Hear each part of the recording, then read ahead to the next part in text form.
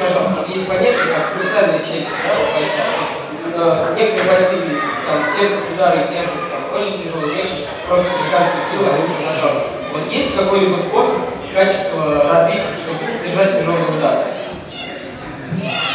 Да, это хороший вопрос, но он очень сложный. Я сам над этим вопросом очень много задумывался. Я для себя просто, я всегда делаю такие наблюдения в жизни. А Провожу.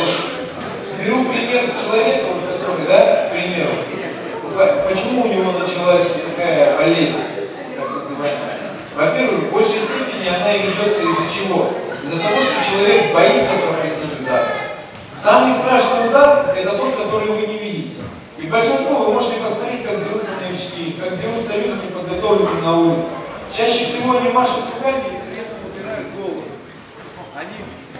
И в этот момент самое страшное пропустить удар, потому что они его не видят. То же самое происходит с теми, вот, которые пропускают. Просто я думаю, в один прекрасный момент человек начал думать, что правда у него хрустальная челюсть, начал это верить психологически, себя настраивать и бояться пропустить удар и в доли секунды до удара он отвлекается, закрывает глаза там или еще что-то и пропускает. Точно так же есть понятие, если у вас было сотрясение мозга, очень, вот много сотрясений мозга, это очень опасно. Любая травма, если она не лечится, она становится хронической.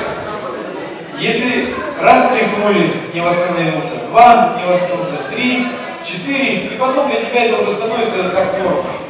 Понимаешь, буквально там щелбан, все, нокаут человек. Такое бывает. Восстановиться, самое главное сделать МРТ мозга после, чтобы посмотреть, есть ли какие-то органического рода изменения. Ну и потом, если корректоваться, посмотреть, как ты себя чувствуешь. Во-первых, как оно прошло. Если у тебя сотрясение мозга тоже, оно контролируется очень просто. Если тебя тошнит, если у тебя работа, если у тебя нет аппетита, если у тебя апатия, если ты не можешь ты только спишь, если ты не можешь нормально себя чувствовать как человек. Ты же помнишь, как ты до этого себя чувствовал?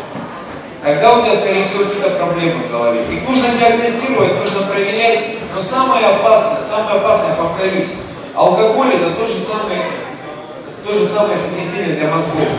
И на моей памяти очень много попадалось людей, которые, вот он дерется, его жестко вырубают нокаут.